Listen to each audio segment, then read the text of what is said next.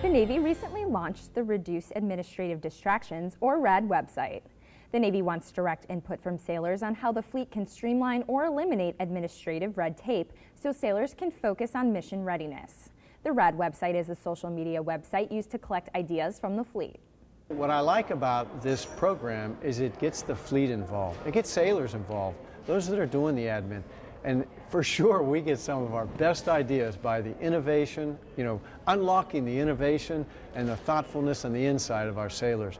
And that's what I like about the RAD program. There's still time to voice your concerns about administrative tasks, procedures, instructions, and training, and you have the opportunity to fix them. Send in your suggestions at the RAD website, navyrad.ideascale.com. From the Defense Media Activity, I'm Petty Officer Amara Timberlake.